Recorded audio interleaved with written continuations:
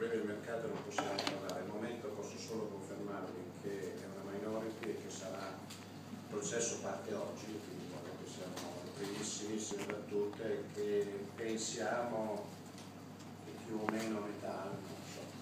giugno, luglio dovrebbe essere completato, ma oltre a questo non, ho, non posso aggiungere altro. Mentre mh, i benefici attesi, l'unico comunicato comunicheremo anche più tardi al mercato è che da queste operazioni ci attendiamo, le operazioni avviate nel corso dell'anno ci attendiamo un beneficio di 30 centesimi.